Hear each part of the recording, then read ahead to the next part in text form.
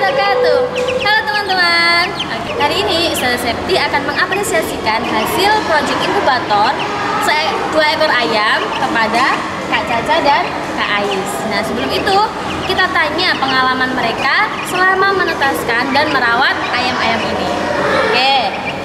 Mungkin dari Kak Caca dulu, berapa lama Kak Caca dan tim menetaskan telur-telur ayam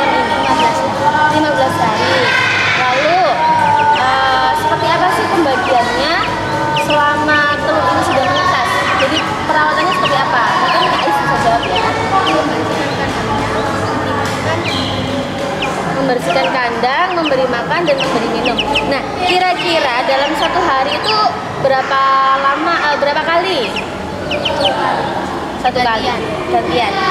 Seperti apa itu sistemnya? Kemarin sempat buat jadwal, sudah ada jadwal. Nah, mungkin bisa Kalau- dijelaskan. Kalau pagi itu timnya Anu, Alsa sama Ken. Kalau sore itu Ais aja sama Laila. Oke. Nah, jadi setelah kemarin teman-teman berhasil menetaskan telur-telur ayam ini, nah ini kan sudah jadi ayam ya teman-teman. Silakan Kak Caca dan Kak Aris melanjutkan merawat ayam-ayam ini di rumah ya. Jadi lakukan apa pun itu di sekolah ini di rumah juga. Jadi tolong dirawat betul-betul. Oke? Kasihan